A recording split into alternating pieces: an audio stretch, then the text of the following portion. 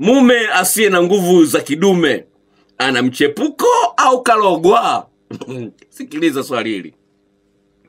Naitwa joyce. Mume wangu zamani alikuwa na nguvu nyingi sana za kiume na alifunga magoli mengi bila kuchoka. Na mimi nilizoea hali hiyo. Lakini sasa dokta hana nguvu za kiume. Je ana wanawake wengine huko au ni ugonjwa? Unisikilize sawa tupata kuambia wanawake mnaonisikiliza siku ya leo hapa radio Free Africa na wale ambao wanasikiliza kwenye youtube. Hivi unapokuwa umeolewa baada ya wewe kuwa mjamzito ile kasi ya kufanya mapenzi inapungua. Unapokuwa umejifungua unatakiwa upumzike wiki sita bila kufanya mapenzi. Sawa? Baada ya wiki sita ndio mwanaume anaweza kufanya mapenzi na wewe. Sasa kipindi kile cha kukaa muda mrefu bila kufanya mapenzi kinachangia kwa mwanaume kupata tatizo kama hilo asipojua mambo gani ya kufanya. Sasa unakuta wanaume wengine kipindi hicho ndo wanachepuka. Wakati mwanamke amejifungua au ndo mjamzito amefika kwenye siku zile za mwisho mwishoni ukweli ni kwamba watu wengi hawajui kwamba mwanamke anapokuwa mjamzito afanye mapenzi mpaka lini kabla ya kujifungua.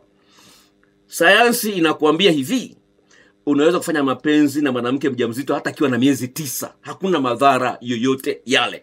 Isipokuwa ujue kwamba utapata likizo baada ya kujifungua akishajifungua inapaswa apumzike wiki sita ukifanya mapenzi na mwanamke kabla ya wiki sita haija- haijafika unaweka maisha ya mwanamke hatarini Sawa. Sasa asilimia kubwa hawajui, wanaona kwamba miezi mitatu tu minne, hata akishakuwa mjamzito basi usimguse tena. Sasa kama mwanamume wako alikuwa hivyo, ndio amejiloga. Sawa, ni kama vile chuma kisipotumika kinaota kutu.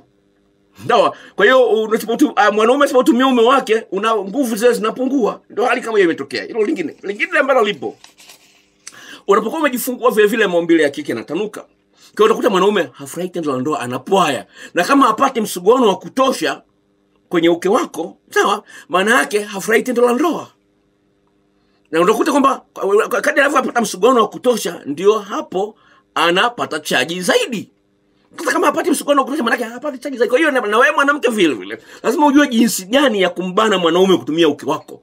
Kuna style na, na, na mafundisho anayatoa kwenye youtube.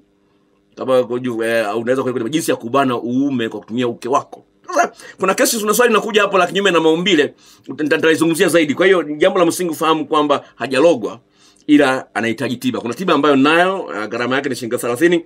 Hujazungumza yuko wapi tuwasiliane niweze kusaidia katika tiba hiyo ya nguvu za kiume ni tiba imetokana na mimea haina madhara. Atapata matokeo baada ya siku kati ya siku kumi hadi kumi na tano lakini dawa atatumia kwa muda wa mwezi mzima ili kufanya mabadiliko yawe ya kudumu na haina madhara kabisa. Sasa kuna wengine wameshatumia sijui congo dust imewasumbua. Nimeshapata kesi kama tano za watu ambao wanatumia congo sijui unga wa congo sijui umewaletea madhara. Kwa hiyo jiepushe na vitu vingine vya ajabu ajabu. Sijui mpaka sijui ufanye nini fanye nini. Anyway sijui lakini nimeshakutana na kesi kama tano hivi. Mbili kutokea mwanza tatu kutokea dar es salaam. Okay niingia kwenye swali lingine msikilizaji wa radio Free Africa